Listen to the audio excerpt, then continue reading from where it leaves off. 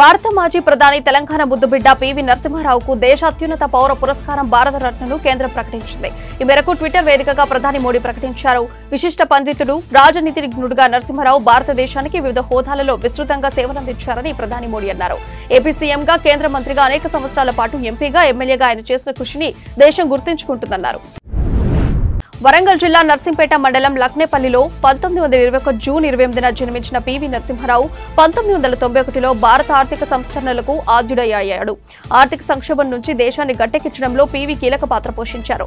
బహుభాషా కోవిదుడుగాను PV నరసింహారావుకు గుర్తింపు ఉంది. పాత కరీంనగర్ జిల్లా భీమదేవరపల్లి మండలంలోని వంగరకు చెందిన పివి నరసింహారావు మంతని నియోజకవర్గం నుంచి తన రాజకీయ అడుగులు వేశారు. పంతొమ్మిది వందల యాభై ఏడులో మొదటిసారి కాంగ్రెస్ అభ్యర్థిగా పోటీ చేసి విజయం సాధించారు. తర్వాత పంతొమ్మిది వందల అరవై రెండు అరవై ఏడు డెబ్బై రెండులో వరుసగా విజయం సాధించారు. భారత మాజీ ప్రధాని బహుభాషా కోవిదుడు తెలంగాణ ముద్దుబిడ్డ పివి నరసింహారావుకు కేంద్రం భారతరత్న ప్రకటించడంపై సీఎం రేవంత్ రెడ్డి హర్షం వ్యక్తం చేశారు. పివికి భారతరత్న ప్రకటించడాన్ని స్వాగతిస్తున్నామని సీఎం పేర్కొన్నారు. ఆర్థిక సంస్కరణలు తెచ్చి ఈ దేశాన్ని అభివృద్ధి పథంలో నడిపించారని కొనియాడారు. పివి నరసింహారావు కుటుంబానికి తెలంగాణ ప్రజల తరఫున రేవంత్ రెడ్డి శుభాకాంక్షలు తెలిపారు. గిరిజన అభివృద్ధికి కాంగ్రెస్ కట్టుబడి ఉందని పద్నాలుగు పదిహేను పదహారు మూడు రోజుల పాటు సేవాలాల్ జయంతి ఉత్సవాలను ప్రభుత్వం తరఫున నిర్వహిస్తామని మంత్రి కోమటిరెడ్డి వెంకటరెడ్డి తెలిపారు. ఇక మాజీ ప్రధాని పివికి భారతరత్న ఇవ్వడాన్ని తాము స్వాగతిస్తున్నామన్నారు. బహుభాషా కోవిదుడికి అత్యున్నత పురస్కారం రావడం సంతోషంగా ఉందని మంత్రి కోమటిరెడ్డి వెంకటరెడ్డి హర్షం వ్యక్తం చేశారు. అనేక సంస్కరణలు తీసుకొచ్చిన నేత దేశాభివృద్ధికి నిరంతర కృషి చేసిన గొప్ప వ్యక్తి పివి అని కొనియాడారు. తెలంగాణ ముద్దబిడ్డ పివి నరసింహారావుకి కేంద్ర ప్రభుత్వం భారతరత్న అవార్డును ప్రకటించడం ఎంతో గర్వించదగ్గ విషయమని మాజీ ఎమ్మెల్యే సుదర్శన్ రెడ్డి అన్నారు. పీవీకి భారతరత్న ఇవ్వాలని అసెంబ్లీలో తొలిసారి గలమెత్తింది బీఆర్ఎస్ పార్టీనని ఆయన తెలిపారు. నర్సంపేటకు చెందిన పీవీకి భారతరత్న రావడం వరంగల్ జిల్లా తెలంగాణ రాష్ట్ర ప్రజలు ఎంతో హర్షించదగ్గ విషయమని పేర్కొన్నారు. బీఆర్ఎస్ బీజేపీలపై సీఎం రేవంత్ రెడ్డి అసెంబ్లీలో కీలక వ్యాఖ్యలు చేశాయి. ఇరు పార్టీల ఆలోచన విధానం ఒకటేనని పదేళ్ళుగా బీజేపీ బీఆర్ఎస్ కలిసి పనిచేశాయని తెలిపారు. రెండు వేల పదకొండు ఎన్నికల్లో బీజేపీ టీఆర్ఎస్ పొత్తు పెట్టుకున్నాయని రెండు వేల పద్నాలుగు నుంచి ఇరవై మూడు వరకు బీఆర్ఎస్కు బీజేపీ సహకరించిందని అన్నారు. పార్లమెంటులో బీజేపీ తీసుకొచ్చిన ప్రతి బిల్లుకు బీఆర్ఎస్ మద్దతునిచ్చిందని తెలిపారు. కేటీఆర్ను సీఎం చేసే అంశంపై కేసీఆర్ మోదీని కలిశారని ఈ విషయం స్వయంగా మోదీనే వెల్లడించారని రేవంత్ రెడ్డి గుర్తు చేశారు. తెలంగాణ అసెంబ్లీలో ఆసక్తికర చర్చ జరిగింది. బీఆర్ఎస్ ఎమ్మెల్యే పల్లా రాజేశ్వరరెడ్డి మాట్లాడుతూ మహిళలకు ఫ్రీ బస్సు జర్నీ ఇవ్వటం వల్ల ఆటో డ్రైవర్లు ఇబ్బంది పడుతున్నారంటూ ప్రస్తావించారు. ఈ వ్యాఖ్యలపై మంత్రి సీతక్క స్పందించారు. పేద మహిళలు ప్రయాణించేది ఆర్టీసీ బస్సుల్లోనే అని. అలాంటి పేద మహిళలకు ఆర్టీసీ బస్సులో ఉచిత ప్రయాణం కల్పిస్తే బీఆర్ఎస్ పార్టీ ఎమ్మెల్యేలు ఎందుకు ఏడుస్తున్నారని ప్రశ్నించారు ఆమె. మహిళలకు ఫ్రీ బస్సు ఉండాలా? వద్దా అనే విషయంపై బీఆర్ఎస్ ఎమ్మెల్యేలు క్లారిటీ ఇవ్వాలని పేద మహిళలకు ఎందుకు ఫ్రీ బస్సు జర్నీ వద్దని ఎందుకు అంటున్నారో చెప్పాలని డిమాండ్ చేశారు మంత్రి సీతక్క. ఆటో డ్రైవర్ల సమస్యలపై మంత్రి శ్రీధర్ బాబు అసెంబ్లీలో కీలక ప్రకటన చేశారు. ఉచిత బస్సు సౌకర్యంతో సమస్యలు వస్తాయని ఆటో కార్మికులకు ఏడాదికి పన్నెండు వేలు అందిస్తామని హామీ ఇచ్చామన్నారు. ఇచ్చిన హామీకి తమ ప్రభుత్వం కట్టుబడి ఉందన్నారు. వచ్చే బడ్జెట్లో దీన్ని ఖచ్చితంగా అమలు చేస్తామన్నారు. తెలంగాణ అభివృద్ధిపై సలహాలు సూచనలు ఇస్తే స్వీకరిస్తామన్నారు. రాష్ట్ర ఆర్థిక ప్రగతి అంశంలో ఎలాంటి భేషజాలు తమ ప్రభుత్వానికి లేవన్నారు. పెట్టుబడులను రాష్ట్రానికి స్వాగతిస్తామన్నారు. అసెంబ్లీలో అధికార ప్రతిపక్షాల మధ్య వాగ్వాదం చోటు చేసుకుంది. ఆటో కార్మికుల సమస్యలపై వాడివేడి చర్చ సాగుతోంది. ఆటో డ్రైవర్లపై బీఆర్ఎస్ చేస్తున్న వ్యాఖ్యలపై అసెంబ్లీలో మంత్రి పొన్నం ఫైర్ అయ్యారు. ఆటో డ్రైవర్లు ఆత్మస్థైర్యం కోల్పోయేలా బీఆర్ఎస్ యత్నిస్తోందని బీఆర్ఎస్ నేతలు ఆటో డ్రైవర్లను అవమానిస్తున్నారని అన్నారు. బీఆర్ఎస్ శ్రేణులు ఆటో డ్రైవర్లను ఆత్మహత్యల వైపు రెచ్చగొడుతున్నారని బీఆర్ఎస్ నేతల మైండ్ సెట్ మారాలని సూచించాలి. ఆటో డ్రైవర్లకు న్యాయం చేసే బాధ్యత మా ప్రభుత్వానిదేనని పొన్నం స్పష్టం చేశారు. మాజీ మంత్రి మహేందర్ రెడ్డిపై వికారాబాద్ జిల్లా తాండూరు బీఆర్ఎస్ శ్రేణులు ఘాటు వ్యాఖ్యలు చేశారు. మహేందర్ రెడ్డి పార్టీని వీడటం సంతోషకరమని పార్టీకి పట్టిన దరిద్రం పోయిందంటూ తీవ్ర విమర్శలు చేశారు. తాండూరు కాంగ్రెస్ ఎమ్మెల్యే మనోహర్ రెడ్డి మహేందర్ రెడ్డితో జాగ్రత్తగా ఉండాలని సూచించారు. మహబూబాబాద్ జిల్లా గార్ల మండలం కృష్ణాపురం గ్రామ శివార్లో బాలుస్వామి ఆధ్వర్యంలో సమ్మక్క సారలమ్మ జాతర ఘనంగా నిర్వహించారు. మూడు రోజులు సాగిన జాతరలో భక్తులు పెద్ద సంఖ్యలో పాల్గొని మొక్కులు తీర్చుకున్నారు. గత ఏడేళ్ళుగా అమ్మవారిని కొలుస్తున్న భక్తులకు అమ్మవారు వరాలు ఇస్తారని పూజారు తెలిపారు. మాదిగ మహిళలు ఎంత ఉన్నత స్థానంలో ఉన్నా కూడా ఈ సమాజం కుల వివక్ష చూపుతున్నారని ఎంఆర్పీఎస్ అధ్యక్షులు మేడి పాపయ్య అన్నారు.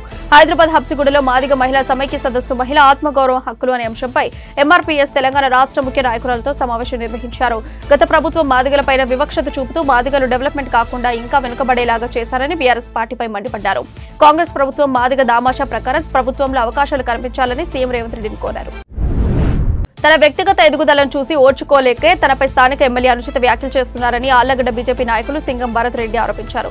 నర్సాపురం గ్రామానికి చెందిన ఒక పొలాన్ని తాను అక్రమంగా లాక్కున్నారని కొందరు వ్యక్తులు ఆరోపిస్తున్నారని అందుకు రుజువులు వారి వద్ద ఉన్నాయని ప్రశ్నించారు.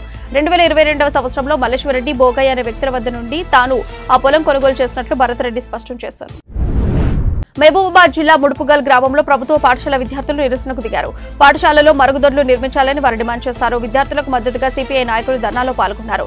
నాలుగేళ్ళ క్రితం మరుగుదొడ్లు కాంపౌండ్ కిచెన్ షెడ్ నిర్మాణానికి ఇరవై ఐదు లక్షలు మంజూరయ్యాయని కానీ ఇప్పటి వరకు పనులు ప్రారంభం కాలేదని వారు తెలిపారు. ఉన్నతాధికారులు స్పందించి వెంటనే పాఠశాలలో అభివృద్ధి పనులు చేపట్టాలని డిమాండ్ చేశారు.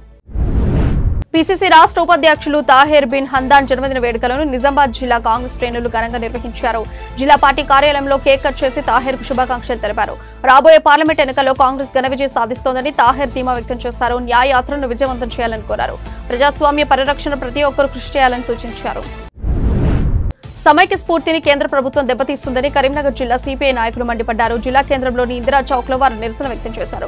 జీఎస్టీ చెల్లింపులు కేంద్ర వివక్ష చూపిస్తోందని తెలంగాణ నుంచి కేంద్రానికి వెళ్ళి పన్నుల్లో సగం కూడా రాష్ట్రానికి తిరిగి రావడం లేదన్నారు. గుజరాత్ రాష్ట్రానికి మాత్రం రూపాయికి చెల్లించిన దానికంటే ఎక్కువ వెళ్తుందని అన్నారు. రాష్ట్ర నాయకులపై విచారణలు రాష్ట్ర పోలీసులకు సంబంధం లేకుండా కేంద్ర ఏజెన్సీలు జోక్యం చేసుకోవడం కరెక్ట్ కాదని తెలిపారు.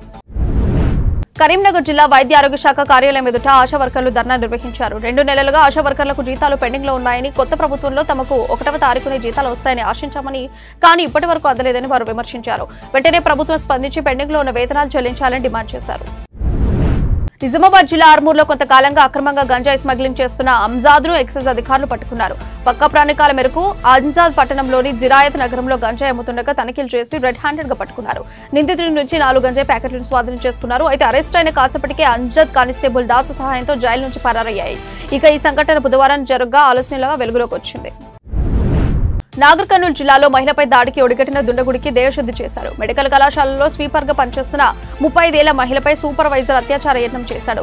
యథావిధిగా కాలేజీకి వెళ్ళిన మహిళ హౌసింగ్ బోర్డు ప్రాంతంలోని కాంట్రాక్ట్ ఏజెన్సీ కార్యాలయాన్ని శుభ్రం చేసేందుకు వెళ్ళగా సూపర్వైజర్ ఆమెపై దాడికి ప్రయత్నించారు. మహిళ ప్రతిఘటించి కేకలు వేస్తూ పారిపోయింది. దీంతో విషయం తెలుసుకున్న తోటి సిబ్బంది సూపర్వైజర్ మహేష్కు దేహశుద్ధి చేసి పోలీసులకు అప్పగించారు. జగిత్యాల జిల్లా మల్యాల మండలం కొండగట్టు శ్రీ ఆంజనేయ స్వామిలో ఆలయంలో గతేడాది జరిగిన చోరీ కేసులో దేవాదాయ శాఖ అధికారులు ఇప్పటివరకు ఎలాంటి చర్యలు తీసుకోలేదు. ఆ చోరీ తర్వాత ఇటీవల మరో రెండు దొంగతనాలు జరిగాయి. అయితే వరుస చోరీలో ఆలయ ప్రతిష్టను దెబ్బతీస్తున్న ఫౌండర్ ట్రస్ట్ చైర్మన్ హుండీ లెక్కంపులో చోరీకి పాల్పడ్డ చర్యలు తీసుకోకపోవడంతో సర్వత్రా విమర్శలు వెలువెత్తున్నాయి. ఇప్పటికైనా కట్టుదిట్టమైన భద్రతా ఏర్పాట్లు చేయాలని అంజన్న దర్శనానికి వచ్చే లక్షలాది భక్తులకు భరోసా కల్పించాలని భక్తులు కోరుతున్నారు.